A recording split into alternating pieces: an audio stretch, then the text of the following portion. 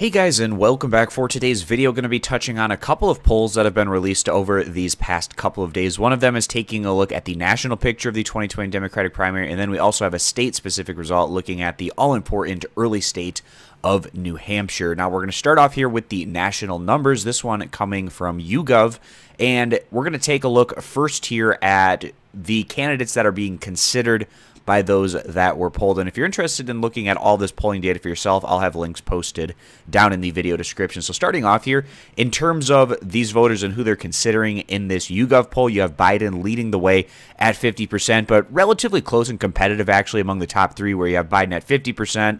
Warren at 49, Sanders at 46, and then you get a bit of a gap before you get down to Pete Buttigieg, who's at 31%, and then there's another gap before you get down to Klobuchar, Bloomberg and Booker, as well as Yang, who are in the mid to upper teens. Now, if we take a look at the first choice of these individuals, and it's showing a relatively close race nationally at the top with those top three options. Biden leading the way, down two points from where he was a week ago in these YouGov numbers. He was at 29. In this one, he's at 27%. Warren rebounding a bit. She actually gained the most in this instance up four percentage points. And actually, for whatever reason, these YouGov polls have by and large have been a bit more favorable towards Warren than where we typically see her overall national numbers. And in this one, re rebounding into second place with 22% of support, gaining four points from where she was a week ago. And then also Sanders picking up a point. He was at 19%, and this one he's at 20%. And then there's quite a significant gap between the top three and the rest of the field where you get to Pete Buttigieg, who's at 7%. And then you have Bloomberg, Yang, Gabbard, as well as Klobuchar, who are each at 3 percentage points respectively. Tom Steyer at 2%, Booker at just 1%, and then everyone else is registering 0% of support. And we take a look at the second choice. And we can see that Bernie leads the way in terms of the second choice among these voters at 12%, Warren at 11%, Biden at 9, Buttigieg at 7, Booker at 6, Bloomberg at 5, Klobuchar and Yang each at 4 percentage points respectively. So those were the YouGov national polls that I wanted to take a look at. And now we got a Monmouth poll out of the state of New Hampshire. And it's kind of interesting to see how some of these numbers have shifted around. Now, it's not the largest sample size by any means in this New Hampshire poll, it's around 400. But nonetheless, the last Monmouth poll that was taken in the state was back in September. And we can see that Bernie Sanders gaining rather significantly in terms of his overall net favorability, where he was at plus 35 back in September, but he's at plus 46 in this one. And that's in contrast to a number of these other candidates who took a step back.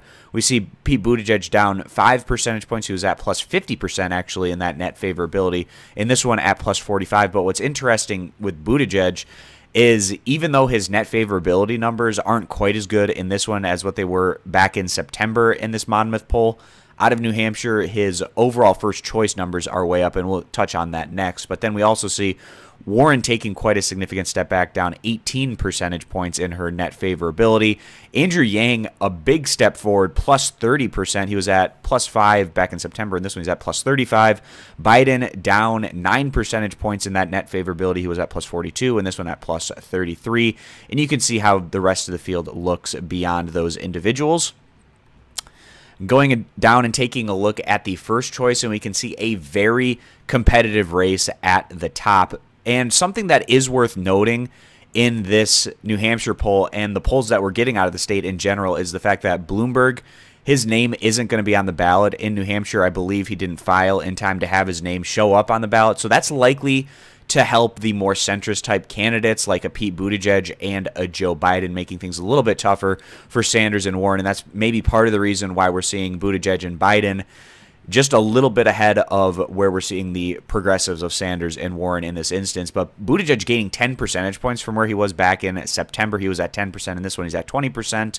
Biden taking a bit of a step back. He was in second place back in September at 25%, and this one he's at 19. Sanders taking quite a big step forward where he was able to gain six points. He was at 12 points back in September, and I was pretty skeptical about those September numbers with Sanders really struggling in a state that you would expect him to do quite well in. In this one, rebounding a bit from that point where he's at 18 percentage points, and all the top three candidates are well within that margin of error of each other, very close and competitive at the top, but Warren taking quite a significant step back where she was at 27% in September, in this instance down 12 percentage points at 15% of support. And then the rest of the field we see Klobuchar at 6%, Gabbard and Steyer each at 4 percentage points, Yang at 3%, Michael Bennet at 2%, Cory Booker at just 1 percentage points. Now, they actually did something interesting. They cut the field down to just the top seven options. And when that was the case, you have a situation where it's Biden and Sanders tied at the top at 21%, followed by Pete Buttigieg at 20%, and then Warren at 15%. So this was taking out individuals like a Tulsi Gabbard, which was probably a big reason that Sanders went up in this instance, but then other individuals like a Deval Patrick, a John Delaney, a Michael Bennet, a Tom Steyer, those individuals taking their names out of here. We can see how that race might play itself out. And then after that, they limited it down just to the top four options. And again, very close and competitive, but taking out some of these other choices actually helped the more centrist type candidates in this instance, where you had Biden and Buttigieg at the top at 24 and 23 percentage points, respectively, followed by Sanders at 21 and Elizabeth Warren at 18 points. And those are the numbers that I wanted to touch on here in this Monmouth poll out of the state of New Hampshire. And again, guys, if you'd like to take a look at these two polls for yourself, I'll link them down in the video description. But that's going to wrap this one up. I appreciate you guys stopping by. Consider subscribing to the YouTube channel, and I'll see you back here for future videos.